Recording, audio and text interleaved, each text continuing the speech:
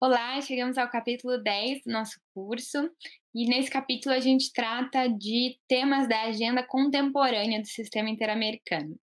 São temas que são muito frescos para a comissão e para a corte, não porque são questões novas, porque na verdade vocês vão reparar que são questões históricas das Américas, mas porque têm merecido olhares renovados nos últimos anos por uma série de razões. O primeiro desses temas é a relação entre direitos humanos e pobreza.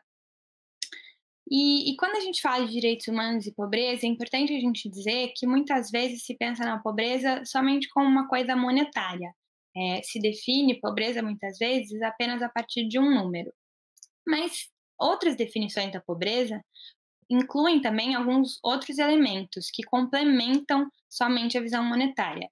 Isso inclui, por exemplo, o acesso à educação de qualidade, a capacidade de ter uma alimentação saudável, a um, possibilidade de viver em uma moradia adequada. Todas essas questões nem sempre são capturadas pela, um, pela definição somente monetária da pobreza. E, e, quando a gente tem esse olhar mais amplo, a gente percebe que a pobreza ela pode ser definida não apenas a partir dos, de um número, mas sim como uma limitação, uma privação sistêmica de capacidades e liberdades básicas do indivíduo, o que acaba influindo, por definição, no exercício de seus direitos, todos os seus direitos humanos.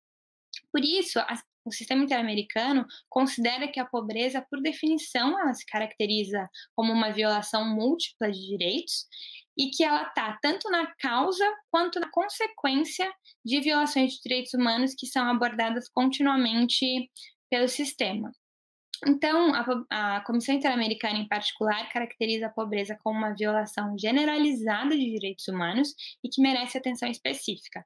Por conta disso, foi feito recentemente um relatório da Comissão Interamericana que aborda de forma detalhada quais são as obrigações dos Estados no combate à pobreza e explica que o combate à pobreza tem que ser feito a partir de uma lógica de direitos.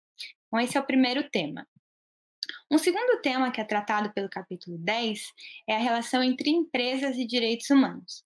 Até agora, a gente veio falando muito dos estados e quais as obrigações dos estados em relação à violação de direitos ou à proteção de direitos humanos.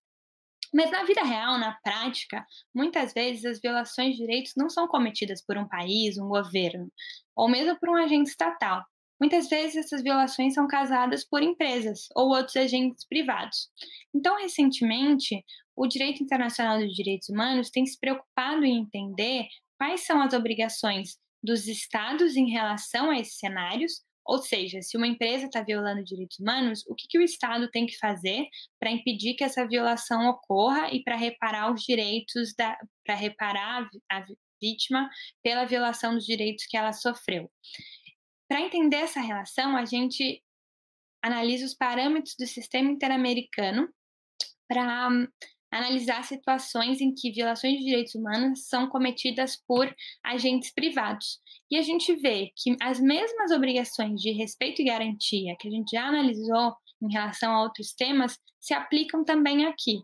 Ou seja, o Estado tem o dever de não apoiar, colaborar, instruir ou de qualquer forma levar empresas a violarem direitos humanos, e ele também tem o dever de tomar todas as medidas e fazer isso com devida diligência para garantir que violações cometidas por empresas não ocorram ou, se ocorrerem, sejam devidamente investigadas, punidas e que as vítimas tenham reparação pelas violações sofridas.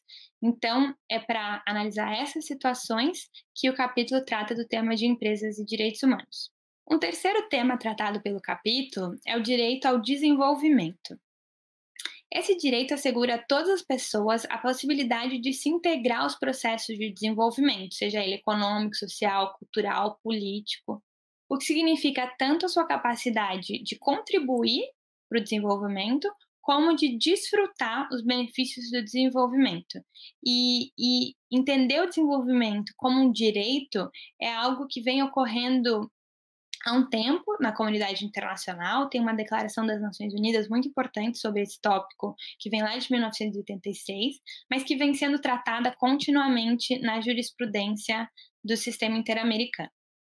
O quarto tema que o capítulo aborda são os direitos digitais. Esse capítulo vai olhar para a internet e entender como a internet se relaciona com os direitos humanos. A internet, a gente sabe, engloba todas as partes da nossa vida. Ela permite que as pessoas acessem informações, que as pessoas se organizem, que as pessoas é, se expressem. Então, ela é um veículo para para desfrute de direitos humanos. Mas também podem ocorrer violações de direitos humanos na internet. Então, a Comissão Interamericana e a Corte têm olhado para para o mundo virtual e procurado analisar quais são as obrigações dos estados em relação à proteção, especialmente do direito à liberdade de expressão e do direito à privacidade, mas também de todos os direitos humanos no ambiente online. Por fim, o capítulo se encerra com um olhar sobre a relação entre direitos humanos e corrupção, esse fenômeno que foi tratado pelo sistema interamericano como uma questão estrutural das Américas. E por isso o sistema tem olhado para a corrupção e procurado entender como ela afeta os direitos humanos, mas também como o combate à corrupção deve respeitar direitos humanos.